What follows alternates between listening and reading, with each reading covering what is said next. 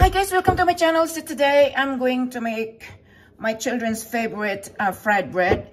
We're gonna make some sesame deep fried bread. So first thing first, I have a cup of brown sugar, a half cup of white sugar, and then four cups of self-rising flour.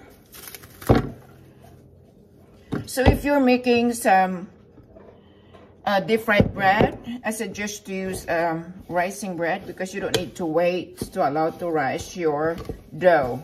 Okay, so next I am going to put two teaspoon of baking soda, just two teaspoon. Okay.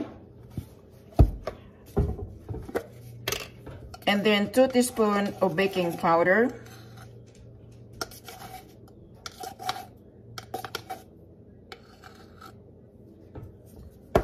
Then a teaspoon of salt.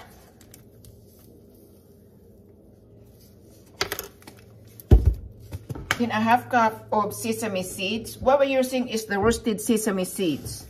It's not the raw one. So we're gonna do half cup. So half cup of sesame seed, roasted sesame seed. Then we're gonna mix all the dry ingredients. Okay. So this is how I make my sesame sweet bread. Okay, just mix it.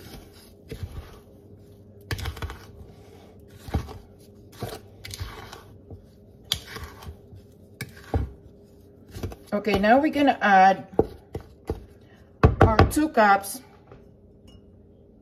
homemade buttermilk. Okay, so I make my own buttermilk. It's really easy to make a buttermilk. If you are using two cups of buttermilk, so just the 2% milk and then added a teaspoon of vinegar or lemon. Allow it to sit for 15 minutes, then be ready to use, okay?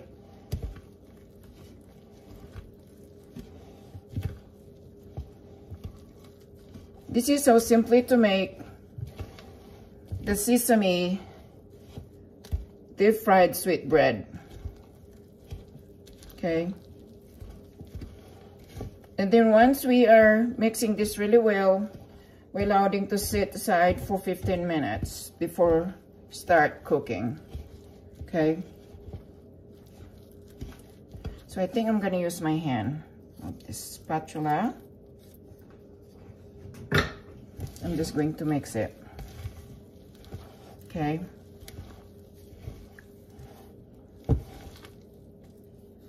I love using the self-rising because I don't need to wait for hours to rise my dough. Okay. So I'm gonna knead this until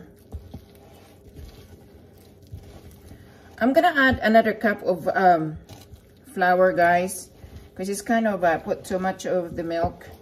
I guess it's supposed to be a cup and a half, but I tried to two cups of buttermilk, but I'm gonna add another cup of self-rising flour, okay?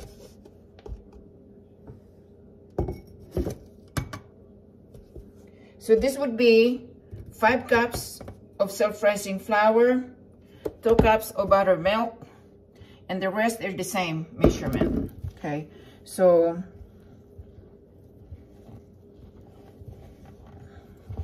I will put in the description below the measurement for all the ingredients. Okay. So I'm just going to mix this here.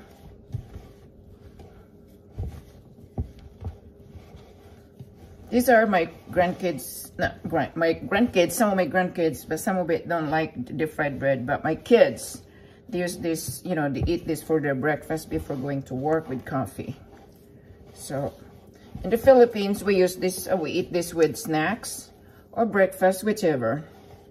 So yeah, this is really, really good.